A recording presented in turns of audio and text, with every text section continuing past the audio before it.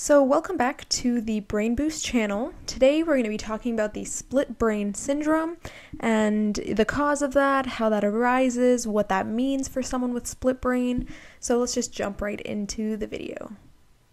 So, just to put everything into context for you, we're when we're talking about split brain, we're looking at the cerebral cortex, which is where information processing occurs. And there's something called the corpus callosum, which is a, a nerve fiber bundle that is found underneath the cerebral cortex, and it's going to connect your left and right hemispheres to each other, right?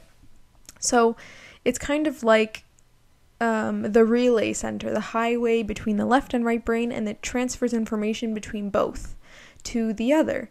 So if you were to sever this, it's as if your left side and your right side of the brain cannot necessarily talk to each other. So that's what split brain is. It's when you have damage to your corpus callosum or if it's severed for whatever reason. So a common or maybe not so common, but an example of severing the corpus callosum would be during um, epilepsy. An epileptic um, might get a seizure that starts in one part of their brain and it travels to the other half, which will um, exacerbate the seizure. So if you cut or you sever the corpus callosum, you are basically um, preventing this information to pass through to the other side of the brain. So that is supposed to help with epilepsy.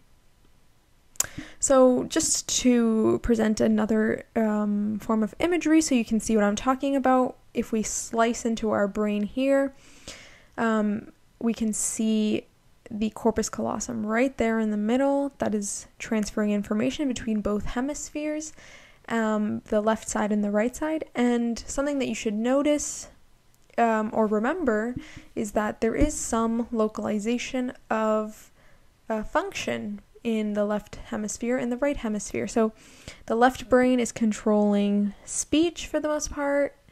Um, right brain is controlling, you know, perception and spatial relationships. So we're going to see how these two functions play out when someone is split brained. So here's another visual for us to better understand um, and get a little more background information on split brain syndrome. So, as you can see, the eyes are a little bit more complicated than we think when it comes to our visual field, in that we have hemifields. So, our left eye, for example, technically has a right and left hemifield that get processed and it crosses over and it also feeds back into this side here. And the same thing goes for the right side. So one thing I want you to see is that we have the corpus callosum here, which we are going to theoretically sever, and we're going to see what happens when we do that. But something you should remember is that the brain is contralateral. So the left hemisphere of our brain technically controls our right side, and our right hemisphere of the brain is controlling our left side. So let's just see what happens. Okay, so this is an example of split brain. So let's just see how this goes down. So we have a patient and we ask them to look at this line in front of them, okay?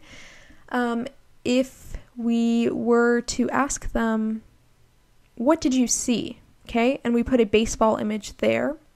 Remember, the left side of the brain controls speech, the right side controls perception and spatial relationships, and we have a contralateral brain in this case the patient is going to say, I saw a baseball. The left side is processing the information and he is saying, Yeah, I, ha- I see a baseball.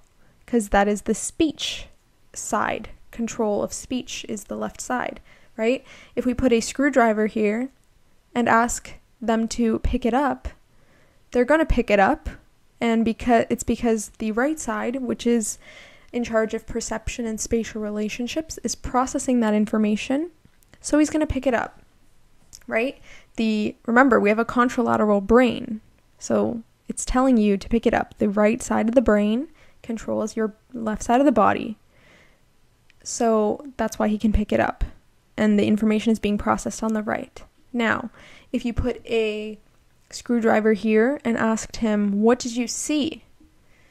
You're basically, this is being you know, processed by the right brain. And the left brain is what is in charge of speech. And the right brain is in charge of perception and spatial relationships, if we remember correctly, right? So he's going to say, I, I saw nothing. I don't see anything here, as you can see. I, he's going to say, I saw nothing. So normally, what happens, someone that isn't split brain will see that image, right? They're going to process it, and it's going to be sent over to the other side here. And then he's going to say, Yeah, I see a screwdriver on the left but he is split brained. So he saw nothing. This is his nonverbal right side, and this is his verbal left side. So that's essentially what split brain looks like. So that's it for today's video. Be sure to subscribe to the channel, like this video, and comment with any questions or any other video topics that you would like Brain Boost to cover, and you will see that in a follow up video.